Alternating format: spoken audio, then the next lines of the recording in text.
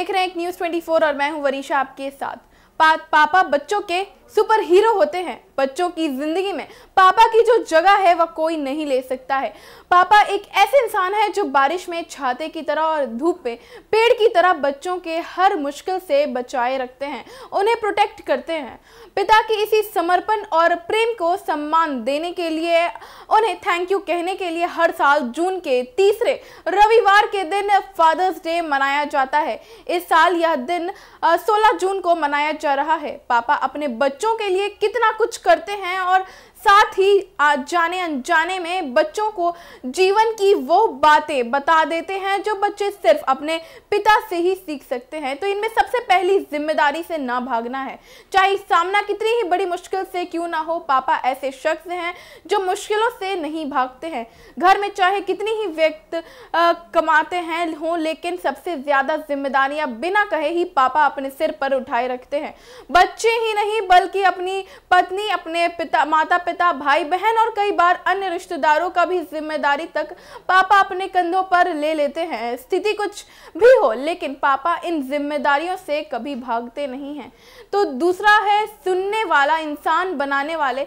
हम अक्सर ही देखते हैं कि कितना ही चुटकुले इस बात पर बनाते हैं कि मम्मी सिर्फ़ बोलती ही रहती हैं और पापा सुनते जाते हैं। लेकिन पापा की यही आदत है जो मम्मी और पापा के रिश्ते में बैलेंस लाती है। एक व्यक्ति बोलने वाला हो तो दूसरा सुनने वाला बनना पड़ता है। मम्मी की टेंशन और तनाव को पापा ध्यान से सुनते हैं और मम्मी की राहत की सांस ले पाती हैं क्योंकि उन्हें सुनने के लिए उनके पति उनके साथ रहते हैं। तो वहीं पापा अपने बच्चों की हर शिकायत को भी सुनते हैं, हर बातों को समझते हैं और सपोर्ट करते हैं। तीसरा रोल मॉडल बनना। पापा के ऊपर इस बात की भी ज़िम्मेदारी रहती है कि बच्चों की उनसे बहुत सी आकांक्षाएँ हैं जो उन्हें पूरी करनी है और साथ ही जिसे देखकर बच्चे हर मुश्किल से पार पाना सीख सकें। बच्चे पापा को रोल मॉडल्स की तरह देखते हैं। पापा अपने बच्चों की हर एक अच्छा रोल मॉडल बनने के लिए अपने जी जान से लगा देते हैं। चौथा है निस्वार्थ का भाव।